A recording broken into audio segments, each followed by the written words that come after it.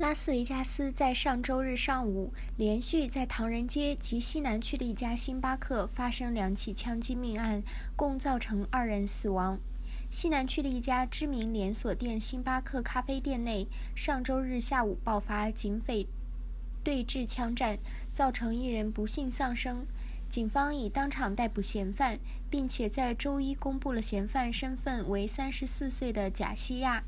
案发地点位于近年越来。越旺的西南区，在靠近暖泉路的彩虹大道七千二百号路段上一家星巴克咖啡店。由于正值周日午间时段，是人潮来往非常密集的一区，维加斯大都会警局对媒体表示，警方在周日上午近约十一点半时获报抵达现场时。发现情况特殊，便以持枪歹徒在店内挟持人质为前提，将现场进行封锁，同时透过媒体告知大众尽量避开那一区。附近街道也因此而封闭数小时。in saying there's a guy in here, crazy guy. He's a gun. He's yelling, screaming. He's saying he's going to shoot everybody. Stood up and then began shooting and just and said, "Put your hands up," and then shot the other gentleman.